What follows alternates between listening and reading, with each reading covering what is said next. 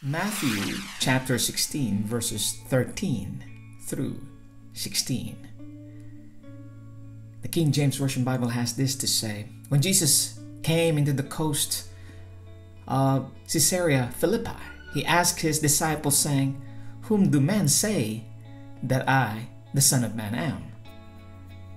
And they say, Some say that thou art John the Baptist, some Elias, and others Jeremiah, or one of the prophets.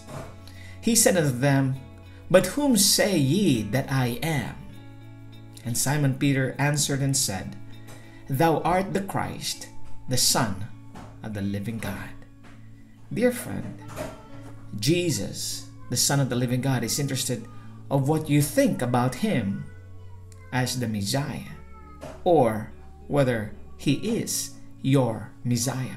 There are many people who misunderstood who Jesus Christ is. They say that Jesus Christ is God Himself from heaven and that there is no Father in heaven, but it was God who just manifested Himself as a Son and had been crucified. So there is no real Father. Some would say that Jesus is not the real Son of God, and that Jesus was only the Son of God when he became the Son of Man. But this is not what the verse was saying to us. Some would say that Jesus is just a manifestation or just a delusion from God. And there are many other theories about who Jesus Christ is. But Jesus, the Son of God, is interested in what you think about him as the Messiah. Do you think that he is the real Son before he became the Son of Man? He was a real Son to the Father, meaning he came forth from the Father.